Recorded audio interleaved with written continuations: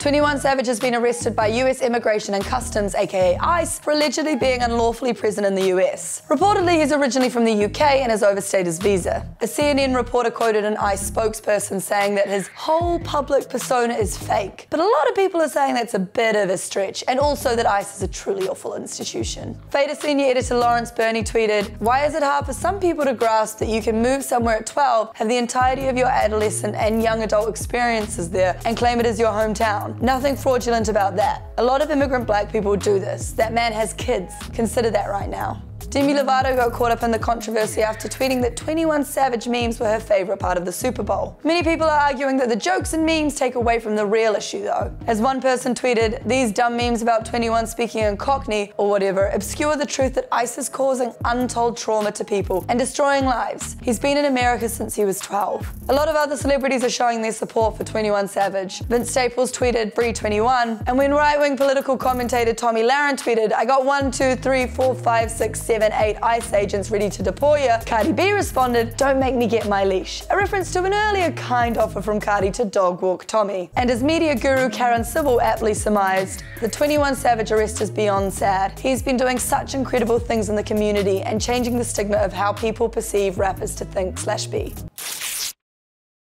Ariana Grande just received the best gift in the world. When Ari tweeted at Tyra Banks asking what she would have done with her hair on the makeover episodes of America's Next Top Model, Tyra tweeted back, I teach personal branding at Stanford, and on day one, my lecture touches on the power of your pony, an iconic visual cue to the world that identifies you, and that she better not touch that tail. Cool that we got the answer to Ariana's pressing question, and that it is the correct answer. But what we really need to know is, oh my god, what happens at Tyra Banks' personal branding course at Stanford? Turns out Tyra started co-teaching the course in 2017 to Stanford MBA students. It's called Project You, Building and Extending Your Personal Brand. According to the class description, it will teach students all about personal branding and how it can be unleashed as a valuable competitive advantage. Say what you want about the somewhat terrifying prospect that these days, everything we say and do online has to feed into a strategic personal brand representative of your desired personality and analyzed by everyone from prospective bosses to Tinder dates. Tyra's smart. She's transformed from model to very successful presenter slash businesswoman slash author slash producer with a reported net worth of 90 million US dollars. She's acutely aware of the power of a strong visual identity, whether that's a smize or a ponytail. I think I need a new haircut.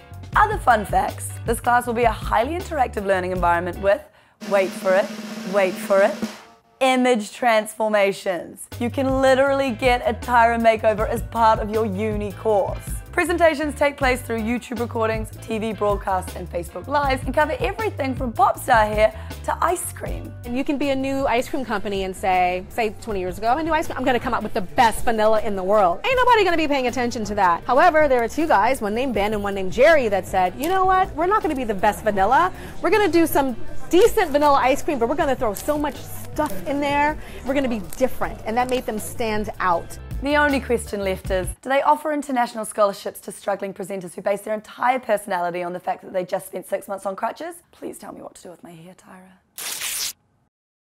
Tomorrow by Together, aka TXT, are K-pop's hottest new boy band. They've got 1.2 million Twitter followers and counting, an official community website for fans to connect on, and countless YouTube videos of people analysing small but very necessary details about each member, like their star sign, or the fact that one of their nicknames is apparently Cucumber because he is tall. All before they've released any music. What they have released are a handful of videos for all five of the members, which kind of resemble ads for baby oil, or that One Direction fragrance ad where they smelled flowers and focused a 16mm film viewfinder that isn't even attached to a camera. Eager fans have spotted clues in the videos, including Morse code messages which spell out dreaming or secret, and that each member has an animal to represent them, like a butterfly or a gecko. So why are they so popular when we barely know anything about them, except for one crucial point, that they're formed by an entertainment company called Big Hit Entertainment, who have one other boy band which they made six years ago, and that is BTS. So are you a TXT fan? If so, please tweet us why. We want to know what you like about them, who your favorite is, what's their music going to sound like, what's their music going to be about. Let us know everything that you want to see in TXT.